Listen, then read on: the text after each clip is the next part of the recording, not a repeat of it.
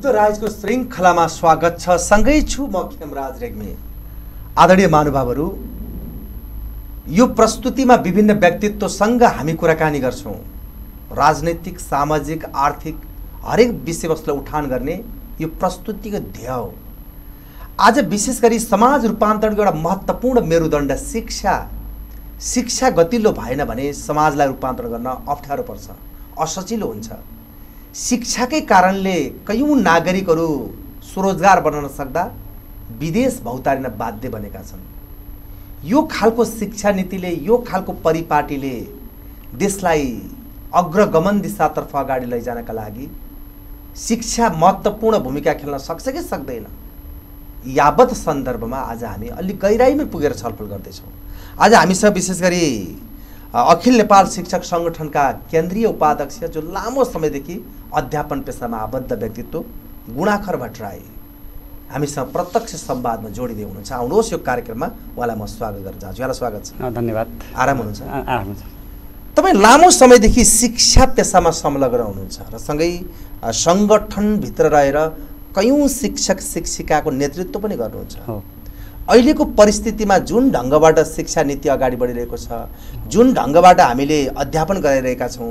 यो सही छ कि छैन यहीँबाट म सुरुवात गर्न चाहन्छु धन्यवाद छ सर्वप्रथम यहाँलाई यहाँको टेलिभिजनलाई अब तपाईँले जुन पृष्ठभागमा सोध्नुभएको छ अहिलेको जुन विद्यमान शिक्षा नीति कसरी अगाडि बढिरहेको छ र यसले हामीले सोचेअनुसारको जुन उपलब्धि हासिल गरेका गरिरहेका छौँ या छैनौँ भन्ने जुन सवाल छ र यसले निकास दिन्छ त?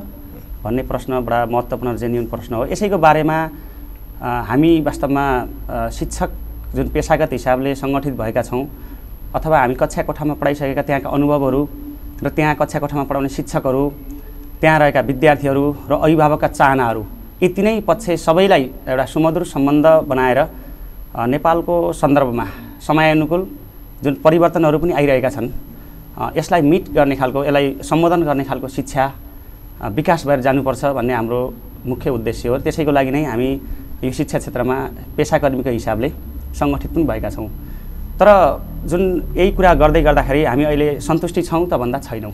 हामी राज्यले जुन अङ्गीकार गरेको शिक्षा नीति छ नेपालको सन्दर्भमा जुन शिक्षा नीति अगाडि बढिरहेको छ यो वास्तवमा अहिले पनि दुई हजार अठाइस सालको शिक्षा ऐनलाई पटक पटक संशोधन गर्दै टालाहरू हाल्दै यहाँ आइपुगेको अवस्था छ। नेपालमा हिजो पञ्चायतकालदेखि थुप्रै परिवर्तन हुँदै यहाँ आयो र अहिले पछिल्लो समयमा सङ्घीय लोकतान्त्रिक जुन गणतन्त्रात्मक राज्य स्थापना भएको छ र अझै अहिलेको संविधानमा त समाजवाद उन्मुख शिक्षा अथवा सम- समाज उन्मुख एउटा अर्थनीति अर्थराज्य प्रणाली यो कुरा गरिएको छ। यो सबै कस्तो छ भन्दा एउटा कतैबाट आयातित नियन्त्रित र यहाँको माटो सुहाउँदो यहाँको जुन परिवेश सुहाउँदो त्यो खालको छैन हेर्नुहोस्। बाहिरबाट आएको कुरा छ बाहिरबाट शर्त शर्त शर्तहरू ल्याइएको छ शिक्षामा एउटा भनौँ न सशर्त निशर्त भन्दा नि एउटा सशर्त लगानी ल्याइएको छ। उनीहरूबाट नियन्त्रित खालको शिक्षा नीति अहिले पनि शिक्षामा रहेको छ। यहाँ अहिले पनि तपाईँ हामीले बुझ्दाखेरि अब यो असन्तुष्टि मात्रै व्यक्त गरे जस्तो हुनसक्छ तर के हो भने हामी यो भित्र शिक्षण पेसामा गर्दै आउँदा र त्यहाँका समस्याहरू त्यहाँका अभिभावक विद्यार्थी हामी सबैका कुराहरू हेर्दै जाँदाखेरि कस्तो देखिन्छ भन्दा यहाँ धेरै समस्याहरू छन्। खास गरी अहिले पनि लाखौँ बच्चाहरू होइन विद्यार्थीहरू आइसकेको अवस्था छैन पहुँचको समस्या छ। पहिलो कुरा यो पहुँच पुगेको छैन त्यहाँ ल्याउन सकिएको छैन। र यसको अहिलेको दृष्टिकोण के हो? शिक्षाको दृष्टिकोण के हो? के पढाउने कहाँ पढाउने कसरी पढाउने कहिले पढाउने कुन विधिले त्यसलाई टिच गर्ने यी कुराहरू अझै पनि अन्यलता छन्। यो एउटा फिलोसफिकल एउटा समस्या छ। दार्शनिक हिसाबले वास्तवमा हामीले के गर्न खोजेका हौँ? पढिसकेपछि के हुन्छ? सर्टिफिकेट लिइसकेपछि के गर्ने हो? मान्छे कति अन्यलमा छ।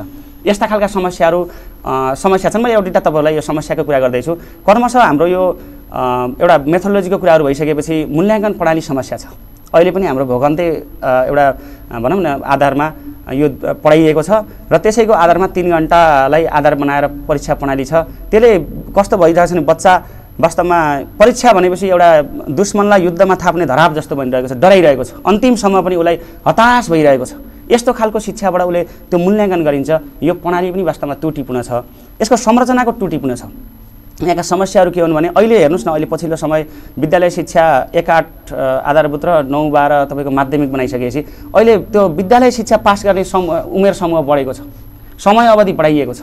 त्यसपछि त्यो पास भइसकेपछि उसले अठार उन्नाइस वर्षपछि के गर्ने भन्ने कुरा अन्यलता छ।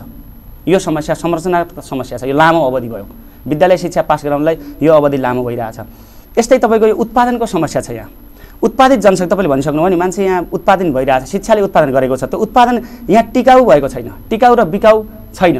अन्तर्राष्ट्रिय श्रम बजारमा अत्यन्तै एउटा दुःखपूर्ण तरिकाले न्यून पारिश्रमिकमा यहाँको जनशक्ति गएर बस्नु परेको छ। केही दक्ष मान्छेहरू उत्पादन गरे तापनि ऊ यहाँ टिक्न सकिरहेको छैन। यो एउटा उत्पादनको समस्या हो। तर यहाँनिर यहाँनिर तपाईँ यही कुरा गरिरहँदाखेरि गुणाखरजी हजुर। हामी एउटा राजनैतिक छत्र छायाबाट अछुतो रहन सकेनौँ कि?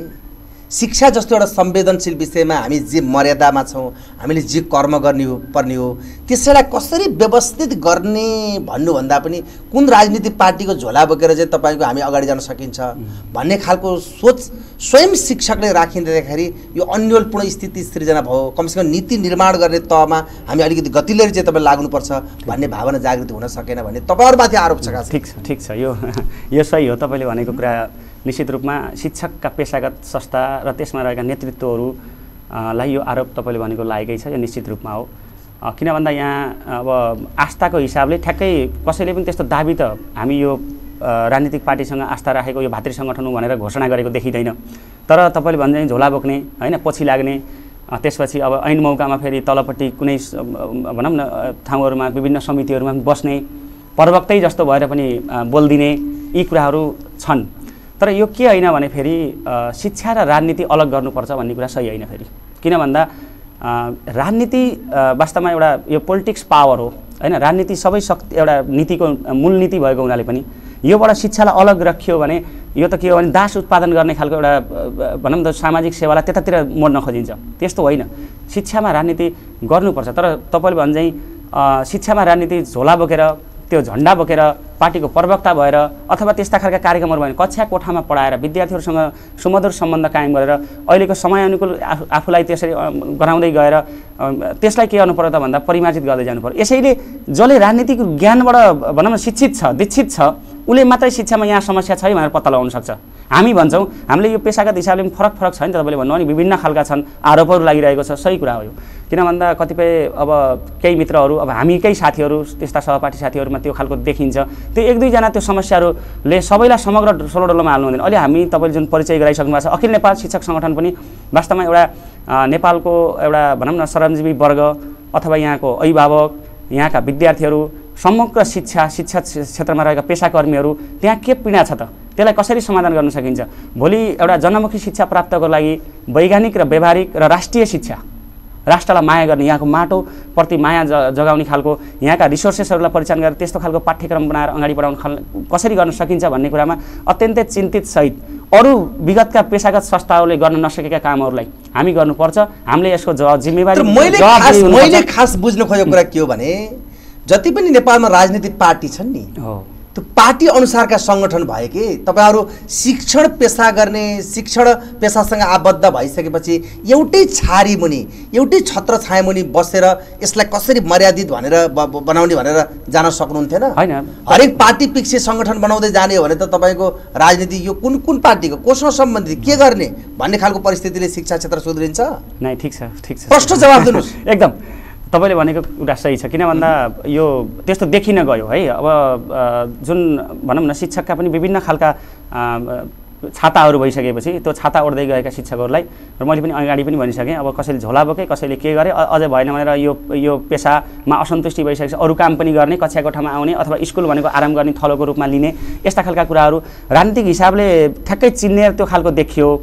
यसैलाई हल गर्नको लागि हामीले हाम्रै पहलमा पछिल्ला त अलिकति हामी अलिकति एउटा भनौँ न पुरा पछिल्लो शक्तिको हिसाबले पनि अगाडि बढेको अवस्था देखिन्छ र हामीले केही कुराहरू जबरजस्त त्यो अलि पुरातन हिसाबले अलि यथास्थितिमा रमाउने भनौँ न सामान्य उपलब्धिमा पनि र खुसी हुने त्यो कुरामा रहेका शिक्षक समुदाय र त्यसका नेतृत्वले यो गर्न सकेन है।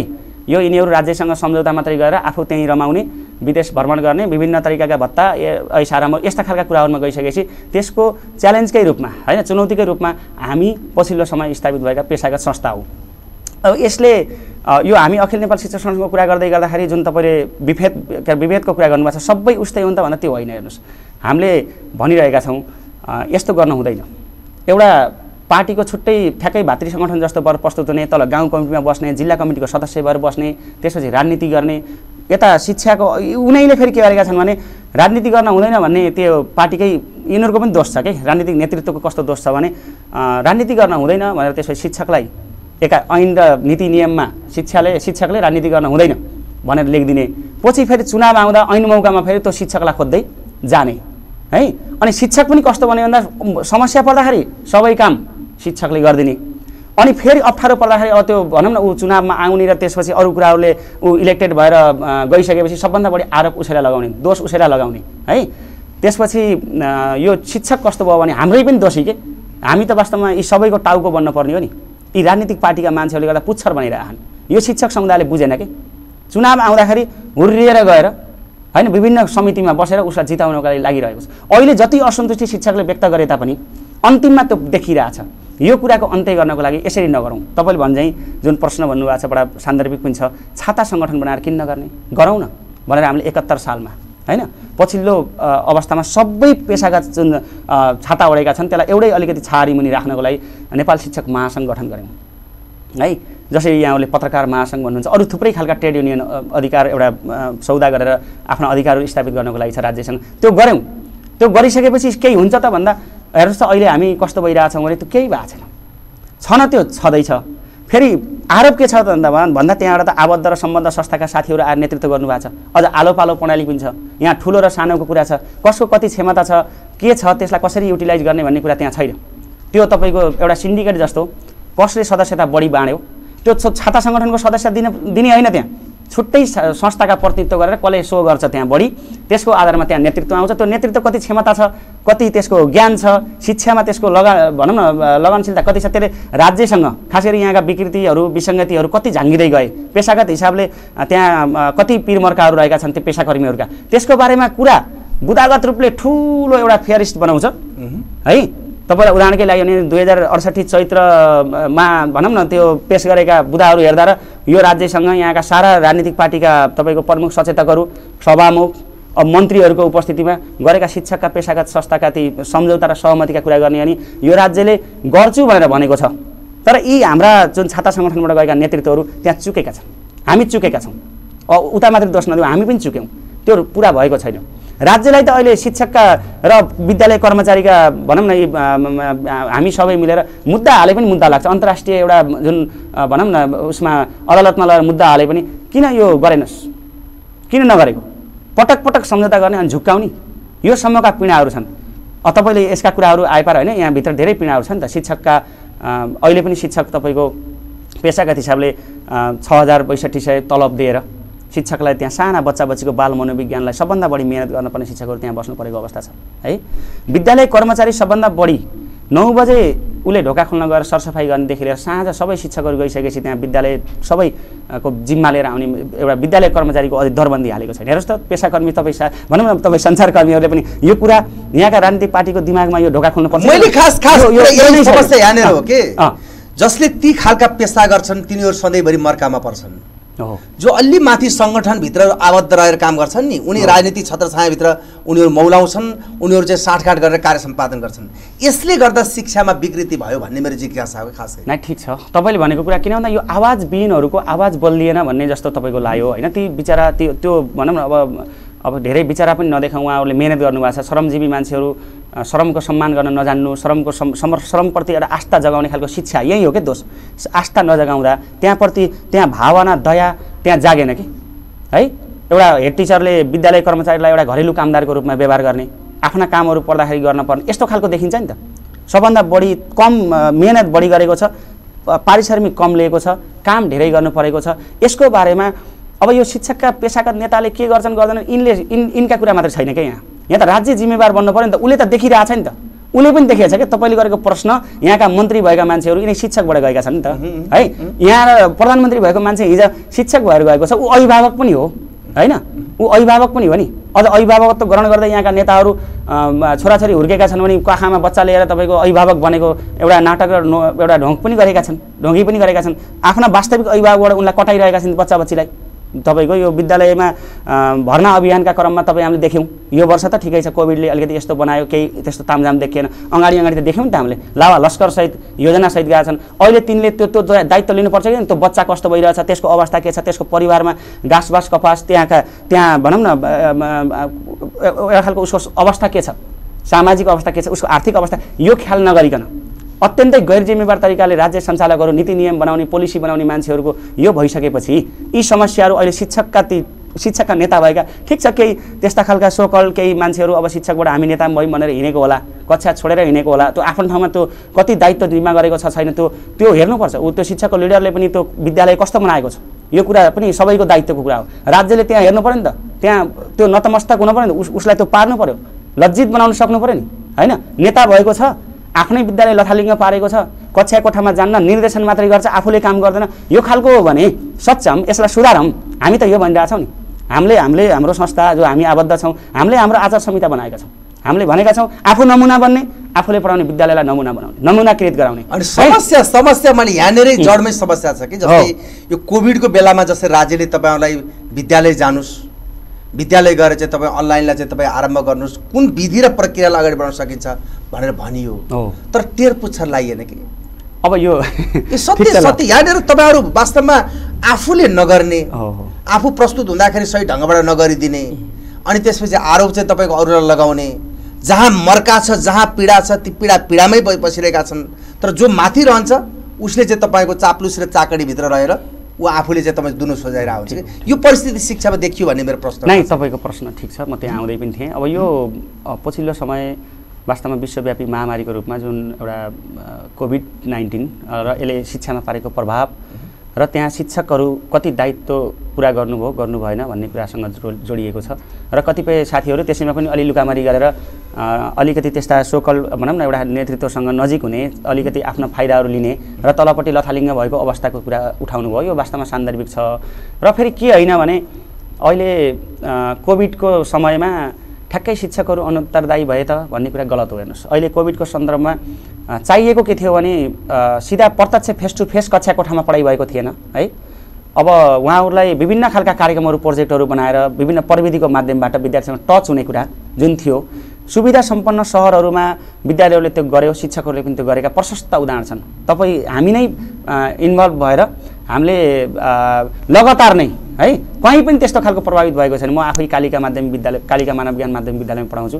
हामी निरन्तर अहिले पनि टार्गेट गरेको कोर्स भ्याउनको लागि सबै योजनाबद्ध तरिकाले अगाडि बढेका छौँ त्यो हिजो अनलाइन क्लास भन्नुहोस् है। बच्चाहरू अनलाइन क्लासमा नआउनेहरूलाई केही बच्चाहरूलाई फेरि व्यवस्थापन गरेर भौतिक रूपमै पनि बोलाएर पढाएका अवस्थाहरू भन्नुहोस्। त्यसपछि हामीले त माघको सुरुबाटै कक्षा कोठामा बोलाएर पढाइरहेको अवस्था छ। भने अब यस्तो फेरि अन्त भएन त भन्ने होइन अन्त पनि भयो। अन्त राज्यले पनि केही हदसम्म गर्यो। तर हाम्रो गुनासो कहाँ हो भने जति गर्नुपर्थ्यो राज्य जति जिम्मेवार हुनुपर्थ्यो त्यो भएन। सारा सबै तयार भयो नि त। अहिले प्रविधिबाट कोही टाढा रहने। शिक्षकहरू नबुझेको नजानेको भन्ने भएन। उसलाई त के चाहिएको थियो भने नेट इन्टरनेटका कुराहरू त्यो अभिभावकमा त्यहाँ त्यो त्यसको पहुँचका कुराहरू होइन? बच्चा बच्चीलाई एउटा ल्यापटपको कुराहरू है? अरू एन्ड्रोइड मोबाइल फोनहरू नभइकन त्यो अनलाइन क्लासमा जोडिन नसक्ने समस्याहरू। यो समस्या राज्यले त भनेको थियो नि त हामीले ल्यापटप दिन्छौँ सबैका घर घरमा इन्टरनेट बनाइदिन्छौँ सब यो गर्छौँ यो ऊ गर्छौँ भने त सारा कुरा शिक्षा मन्त्रालय होइन? तपाईँको नेपाल सरकार सबै मान्छेहरू बोलिरहेको थिए भाषण गरिरहेको थिए।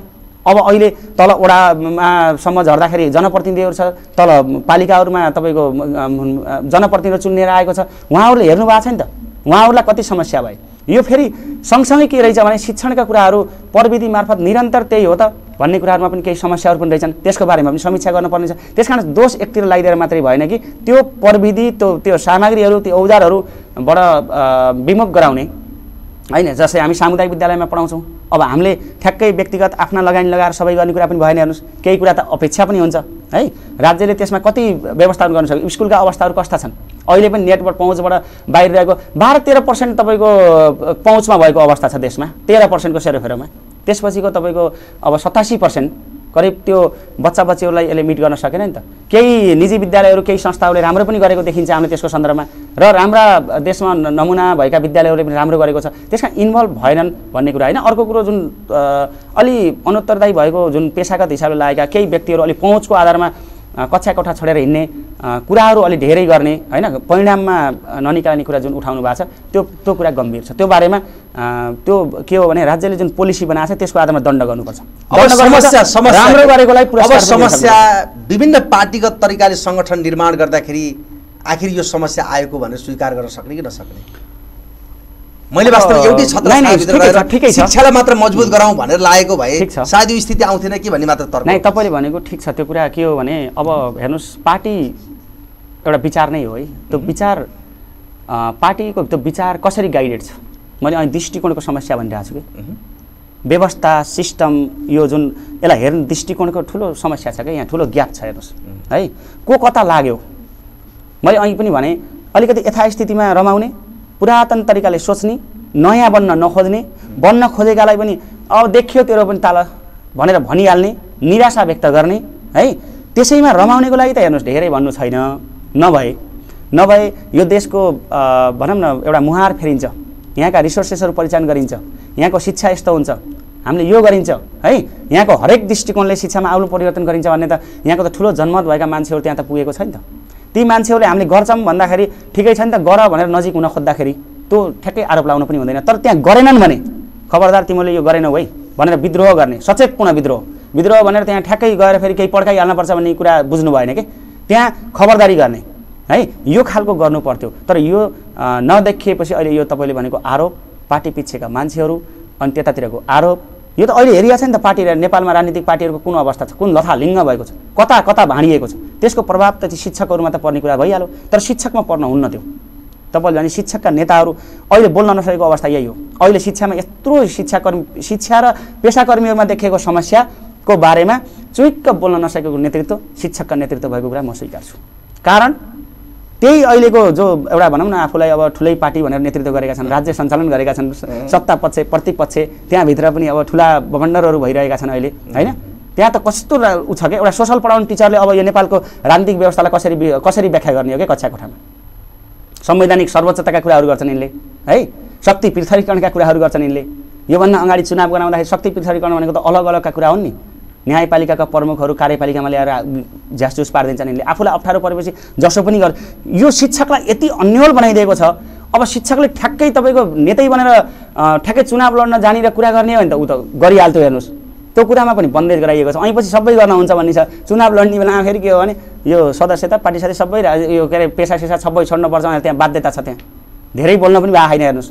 नभए नबुझेको छैन। देशभरिको शिक्षाकर्मीहरू यी पेसाकर्मीहरू अहिले वास्तवमा यो एउटा मध्यम वर्ग यो अहिलेको एक्जिस्टिङ व्यवस्था राज्य प्रणाली भनौँ हुन त हामी पनि राज्य प्रणाली नै हो हामी पनि दोषबाट उन्मुक्त होइन तर समस्या छ यहाँ। यो विकृति हल गर्नुपर्छ भनेर त सबैलाई थाहा छ नि त। शिक्षा यो अहिलेको नबुझ्नेकै कुरा के हो भने समाज विज्ञान है र तपाईँको यो प्रकृति विज्ञान यसभित्रको समायोजन हुन सकेन कि? समाजले के भनिरहेको छ भन्दा अगाडि समाज त परिवर्तन निरन्तर परिवर्तन छ नि। परिवर्तन हुँदै गएको अगाडि बढौँ भन्ने कुरामा रोक्न खोजिरहेको छ क्या जबरजस्ती रोक्न खोजिरहेको छ विज्ञानले त भन्छ नि त अब भनौँ न सामान्य मैले एउटा वस्तु यहाँबाट केही पर सार्न खोज्दाखेरि त फोर्स जरुरी छ नि। तर फोर्स लगाउँदाखेरि मान्छेले फोर्स भन्दा अथवा यहाँको रिभोल्युसनका कुरा क्रान्तिका कुरा परिवर्तनका कुरा गर्दाखेरि अलिक नेगेटिभ बुझ्ने कुरा पनि छ हेर्नुहोस्। है त्यो गर्दाखेरि ठ्याक्कै अब अब लडाइँ हुने भयो भन्ने बुझ्छ। के लडाइँ ठ्याक्कै त बन्दुक पड्किनुपर्छ लडाइँलाई त बन्दुक पड्किने मात्रै त होइन नि। फेरि शान्ति भन्दा बित्तिकै कसैले कसरी बुझ्छ भने जल छर्केर तपाईँको घन्टी बजाएर पनि त शान्ति आउँदैन। शान्ति आउनुलाई त तपाईँको मान्छेमा त एउटा होइन कमसेकम न्यूनतम आधारभूत आवश्यकताहरू है त्यसको परिवृत्ति त चाहियो नि। तपाईँको अर्थ सिद्धान्तले चल्दैन सिद्धान्त भएन वैयक्तिक स्वार्थ चाहिँ तपाईँ केन्द्रित भयो भन्ने हो। हो त यो त छ नि यो त छ नि यो त तपाईँको सिद्धान्त त कसका राम्रो छैन र। अहिले हामीलाई आरोप लगाएको भए पनि ल शिक्षकहरू कतै लागिहाले ल लाग्दा त त्यो पवित्रै आस्था राखेकै जस्तै अब ने नेपाली काङ्ग्रेस निकटको कोही शिक्षक छ भने उसले त बिपीको आदर्शका कुराहरू पनि त त्यहाँ पढेको होला नि त शिक्षकले पढेको छ नि। तर त्यहाँ व्यथिति देखिरहेको छ क्या त्यो पनि अर्स- असन्तुष्टि छ। लोकतान्त्रिक आचरण प्रजातान्त्रिक समाजवादका कुराहरू उसले गरेको छ तर त्यो देखिरहेको छैन क्या त्यहाँ असन्तुष्टि छ। त्यो व्यक्त गरेर बाहिर आउन सकेका छैन है? कम्युनिजमका कुरा गर्दाखेरि त सबै समाज होइन? एउटा समानतामा आधारित समाज समा वैज्ञानिक समाजवादका कुराहरू भोलि साम्यवादसम्मका परिकल्पना कुरा कति सुन्दर आदर्शका कुरा छन् क्या त्यहाँ। त्यो त्यो देखेर त्यहाँ विश्वास गरेको छ नि तर त्यो त्यो त्यो लागिरहेका लिडरमा त्यो देखेको छैन। होइन? यो नदेखिसकेपछि यहाँ असन्तुष्टिहरू चुलिएर आएको कुरा हो। व्यक् वैयक्तिक हिसाबले मान्छे असन्तुष्टि छ। संस्थागत हिसाबले विकास हुन सकेन भन्ने कुराहरू छ। यसलाई यसलाई व्यवस्थित गर्नको लागि पनि एउटा हामी जस्ता भनौँ न यो यो समाजका एउटा अग्रज अब यहाँको थुप्रै कुराहरूको हामी त एउटा सामाजिक एउटा अभियन्ता पनि त हौँ त होइन? समाजभित्रका विकृतिहरू अथवा त्यहाँ रहेका समस्याहरू शिक्षाको कुरा मात्रै किन? स्वास्थ्यका कुरा हरेक कुराहरूसँग जोडिन्छौँ नि हामी त। शिक्षक त फेरि सबै पनि हो होइन? यसले त हेर हरेक कुराहरूलाई ल्याउनुपर्छ। त्यस कारण यो शिक्षक सचेतपूर्ण तरिकाले यहाँ अहिले जुन आरोप आएको छ त्यो आरोपबाट बच्नको लागि पनि है ठिक र बेठिकलाई कमसेकम ठिक कुरालाई समर्थन र बेठिकको विरोध गर्न सक्ने र त्यहाँ देखिएका समस्याहरू पाठ्यक्रमका समस्याहरू अहिलेको व्यवस्थामा जस्तै शिक्षा ऐनका कुरा मैले भनिसकेँ अट्ठाइसलाई निरन्तरता दिएको अवस्था छ भने नयाँ शिक्षा ऐनका कुराहरू किन नल्याउने? होइन यत्रो परिवर्तन राजनीतिक परि खै त्यो कुरा? उच्च स्तरीय राष्ट्रिय शिक्षा यो राज्यले गठन गर्यो हेर्नुहोस् त्यो एउटा आयोग। यति लाजमर्दो भएको छ कि त्यहाँ केही कुराहरू राम्रै थिए कि? शिक्षकको तपाईँको विद्यालयको नेतृत्व गर्ने भनेको शिक्षकलाई दोष नभए एउटा शिक्षकको प्र लामो समयदेखि प्र आसनमा बसिरहेको छ। उसले के के गर्यो त उसका योजनाहरू आवधिक योजनाहरू के थिए? कति चेन्ज ल्यायो? खोइ कसले हेर्छ त्यहाँ?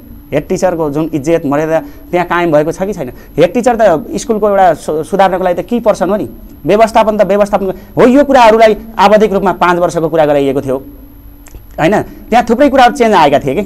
त्यहाँ भनौँ न अब शिक्षा सम्बन्धी अरू थुप्रै कुराहरू परिवर्तन ल्याउनु गर्नको लागि त्यो राष्ट्रिय शिक्षा आयोगले ल्याएको प्रतिवेदन थियो है? अब बढुवाका शिक्षकलाई बढुवाका कुराहरू अरूलाई भन्दा अलिकति तलब बढी दिने कुरा जस्तै निजामती कर्मचारी अरूलाई भन्दा कमसेकम बढी दिएर यो शिक्षकलाई जवाफदेही हुनुपर्छ भन्ने कुरा होइन? यो यो मर्यादित शिक्षण पेसा गर्नको लागि अहिले बाहिर हेरौँ त हामीले युरोपियन कन्ट्रीहरूमा अरू अरू थुप्रै कोरिया जाउँ जापान अरू ठाउँहरूमा जाने हो भने हेर्नु यो यो एउटा प्राज्ञिक यो क्षेत्र यो क्षेत्रको सम्मान इज्जत फरक छ कि? यो यो फरक हामी म आफै सोध्छु क्या यो? ठिकै पनि छ फेरि। कतिपयले राम्रो गरेकाहरूलाई सम्मान विद्यार्थीले नमस्ते गर्ने अरू अरूले पनि ठिकै मान्ने पनि त्यो त देखिन्छ। तर त्यो अंशको कुरा भयो। टोटल होलमा एज अ होलमा शिक्षक प्राध्यापक है यहाँको यो बुद्धिजीवी यो वर्ग यो खालको भनेर सम्मान नपाउने खालको जुन देखिएको छ यो यसलाई सच्याउनुपर्छ।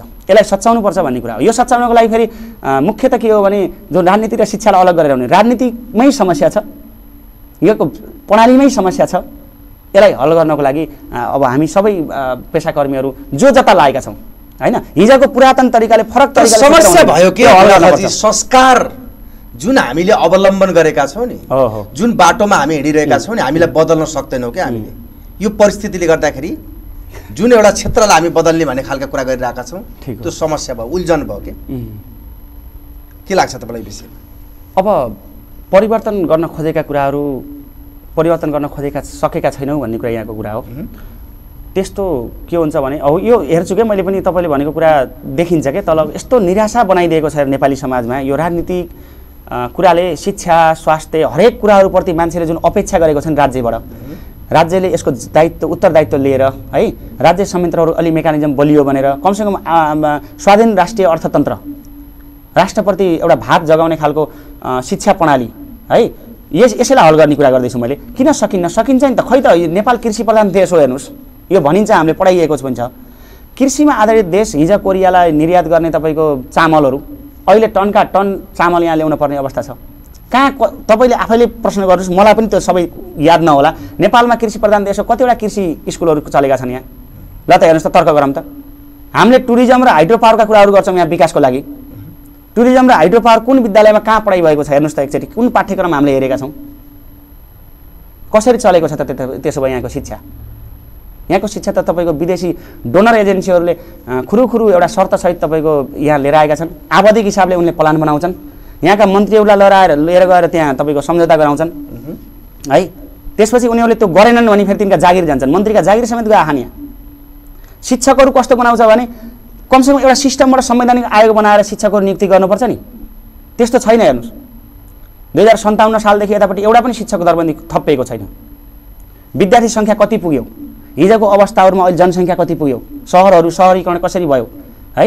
हिजो विद्यालय संरच भनौँ न त्यो नक्साङ्कन गर्दाखेरि पनि आफू खुसी गरिएको छ त्यो हेरिएको छैन वैज्ञानिक एउटा विधि अप्नाइएको छैन। अब अहिले त्यो दरबन्दी सिर्जना गर्नुपर्छ कि पर्दैन? त्यो दरबन्दी सिर्जना गर्ने साटो त के गरिएको छ त भन्दा बाहिरबाट आएको पैसा अलिकति यताबाट फन्डिङ गरेर केही केही म्याचिङ गरेर तपाईँको एउटा राहत शिक्षक भनेर चालिस हजारभन्दा बढी राहत शिक्षकहरू बनाइयो। त्यसको अपनत्व राज्यले लिन सक्दैन। त्यसलाई दरबन्दी सिर्जना गरिदिन्न कि? साथीहरूले आन्दोलन गरिरहनु भएको छ। हामी त्यसमा यो भएन भनिरहेछौँ त्यो एउटा समस्या छँदै थियो। फेरि आएर त तपाईँको यो शिक्षक एउटा अनुदान भनेर आयो। त्यो राहत भन्दा बित्तिकै दरबन्दी भनेर अधिकार खोज्ने भनेर अनुदान भन्यो। तपाईँको तेह्र महिना तलब दिन्छ राहत शिक्षक उसलाई बाह्र महिना तलब दिने दस बाह्र महिना तलब दिएर त्यो शिक्षक राख्दैछ। यो सोह्र सत्र प्रकारका है अलि अठार थियो त्यो अलिकति घट्दो पनि छ केही अहिले यो केही केही कुराहरू दिन दिन छोडेको छ राज्यले कुनै शीर्षकमा।